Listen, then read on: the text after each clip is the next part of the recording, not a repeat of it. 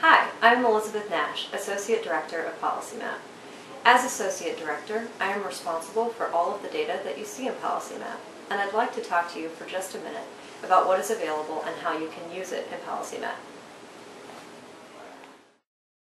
PolicyMap houses over 10,000 indicators related to home sales, crime, mortgage originations, demographics, jobs, and more for geographies across the United States.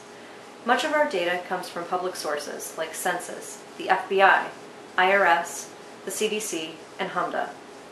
Some, like home sales statistics, school performance test scores, and current demographic estimates and projections, come from third-party data providers.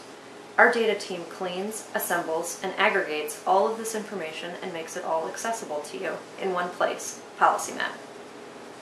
Browse through the Our Data tab to see a detailed summary of all that is available, and you'll see why we believe PolicyMap is the most comprehensive, relevant, timely, and accessible data warehouse online today. Mm-hmm. PolicyMap gives you access to this data in maps that can help you visualize an area, tables that can help you compare places or understand trends, reports that can give you a full study of an area, and analytics that help you target areas for site or project selection.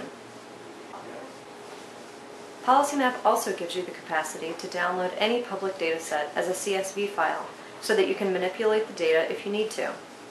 In addition to accessing the data within PolicyMap, subscribers can also upload their own datasets, either by clicking on the map to enter an address or by sending us a spreadsheet of data for upload.